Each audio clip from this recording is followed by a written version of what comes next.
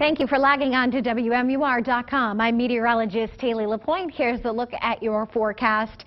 Man, it's a cold one today. Again, temperatures are only going to be in the 30s, but it won't feel like a lot of these readings. You can shave off a few degrees thanks to the breeze that will be kicking up, making it feel like the teens and 20s all day long. We'll have a lot of sunshine, especially in the central and southern part of the state. Just some passing clouds from time to time up to the north in the mountains and up to uh, the northern part of the of uh, Coos County. We'll likely see a couple of snowflakes up there too. Not amounting to much, but good, of course, for the ski areas. You can see that on the satellite and radar here. The light gray color, those are the clouds, mainly up to the north, and then some white showing up. That is a little bit of snow action right on top of Mount Washington. A couple of the ski areas, I'm sure, picking up maybe an inch or so of these uh, snow showers that continuously are moving through. But notice it's clear down to the south end and central portions of the state. So a good looking day. It's just not going to feel very nice with the breeze kicking up.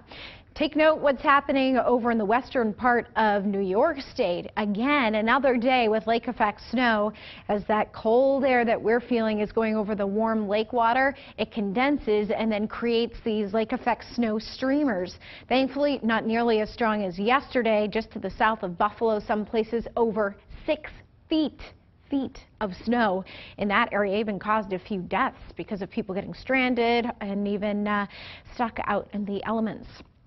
Here's the good thing for us, not talking about any big amounts of snow. Pretty quiet weather patterns setting up here, just the chance of a few scattered showers, snow showers today and during the overnight. Again, that's mainly up to the north in the mountains. Here's 7 a.m. tomorrow morning, waiting at the bus stop. The kids will need to bundle up yet again. It'll feel like the teens and 20s early tomorrow morning with a little bit of a breeze kicking up. But another similar day tomorrow, mix of sun and clouds and maybe just a small chance of a passing flurry even the southern portion of the state too, but not amounting to anything more than just a few flurries flying through the air. Take a look at the wind chills as we go through time here. This is around 5 o'clock this evening it feels like the teens at a lot of locations. Look at Berlin. 15 will be the feel-like temperature when you factor in the wind and the cold. And then 20s from Manchester toward Nashua. And overnight, it will feel like the teens and 20s too. And that will continue to be the case as we go through our day tomorrow and beyond too. We're really just stuck with this almost Arctic midwinter-like cold through the rest of the work week and even into a portion of the weekend too. So tomorrow we'll have some passing clouds and maybe even a few snowflakes. Friday, bright, sunny, still be chilly, 34 for the high temperature. Then we'll start to see a warming trend as we get into the weekend, especially on Sunday. Maybe some showers late in the day. But look at next week, finally getting a little bit warmer as we approach Turkey Day.